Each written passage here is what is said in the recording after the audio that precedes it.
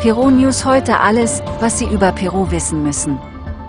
Mit einem hartnäckigen Messi, Peru verlor am vierten Spieltag der Qualifikation mit 0 zu 2 gegen Argentinien.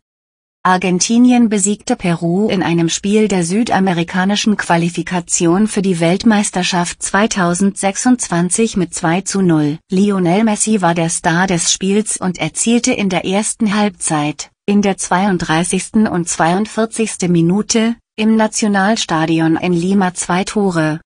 Trotz der Bemühungen Perus, seine Position in den Playoffs zu verbessern, demonstrierte Argentinien über weite Strecken des Spiels seine Dominanz.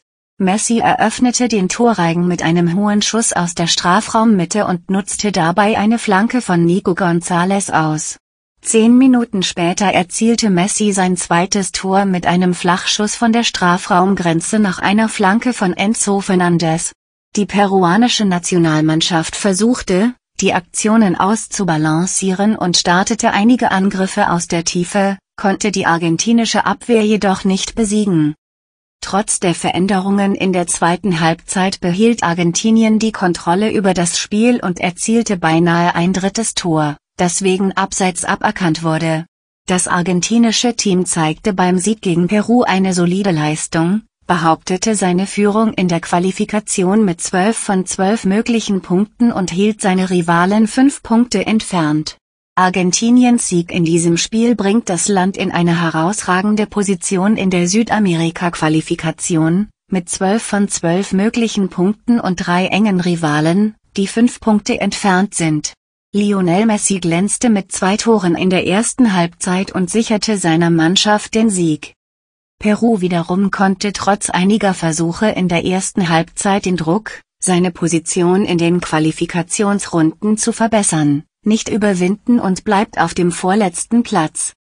Das Spiel war Zeuge der argentinischen Dominanz im Spiel, mit klarer Kontrolle über die Aktionen und einer soliden Verteidigung, die verhinderte, dass die peruanischen Versuche das gegnerische Tor gefährden konnten.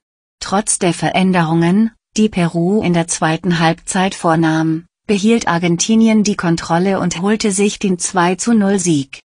Argentinien stellt in der Qualifikation weiterhin seine Qualität unter Beweis und bleibt einer der Favoriten auf die Qualifikation für die Weltmeisterschaft 2026. Lionel Messi war wie immer maßgeblich an der Leistung seiner Mannschaft beteiligt und machte deutlich, warum er als einer der besten Fußballer gilt in der Welt.